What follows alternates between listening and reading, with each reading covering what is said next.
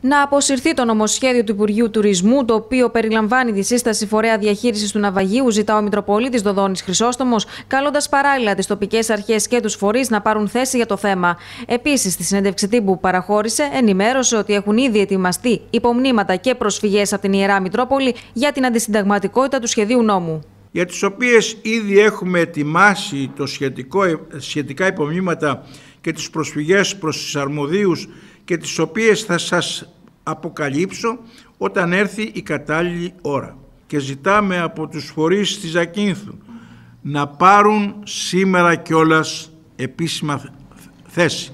Ο Μητροπολίτης και πρόεδρος της Διοικούσα Επιτροπής της Ιεράς Μονής Αγίου Γεωργίου των Γκρεμνών αναφέρθηκε στην αγοραπολισία και ρίξε τα βέλη του στον Υπουργό Τουρισμού, τονίζοντας ότι το νομοσχέδιο έχει στόχο να εξυπηρετήσει τα συμφέροντα της ανώνυμης εταιρείας Πιμάνα. Μάλιστα, τόνισε ότι στο νομοσχέδιο δεν γίνεται καμία αναφορά στο πού θα πάνε τα έσοδα του φορέα. Ο κύριος Θεοχάρης, ο Χάρης, δεν αναφέρει τίποτα στο σχέδιο νόμου για τη διανομή των κερδών του μαγαζιού, διότι πολύ απλά δεν έχει κλείσει ακόμα η συμφωνία και τα μερτικά της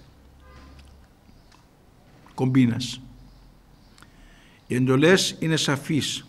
Οι κάτοικοι και η Εκκλησία θα τιμωρηθούν αφού δεν έσκυψαν το κεφάλι στον Εμμύρη, φίλο καρδιακό του Χάρου και του Χάρη.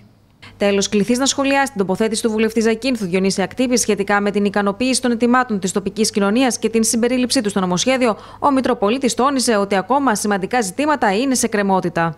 Ο Αιγιαλό είναι κάτω. Μιλάμε για τη γραμμή Αιγιαλού που είναι πάνω, 150 μέτρα πάνω από την Αιγιαλό διαφεύγει στον κύριο Βουλευτή αυτό το γεγονός ότι η Αιγιαλός είναι εκεί που τελειώνει το χειμέριο κύμα. Έτσι λέει το Σύνταγμα και ο νόμος. Δεν λέει 150 μέτρα, 170 μέτρα που είναι εκεί. Επομένως ο κύριος Βουλευτής παραφράζει ή ξεχνάει ή δεν ξέρει γιατί είναι γιατρός τι σημαίνει Αιγιαλός. Ο σκοπός λοιπόν είναι η υφαπαργή, η υφαρπαγή κατά παρέκκληση των ακινήτων που βρίσκονται πλησίων της ζώνης αυτής. Ο Μητροπολίτης καλεί τοπικές αρχές και φορείς να πάρουν θέση και ζητά την απόσυρση του νομοσχεδίου.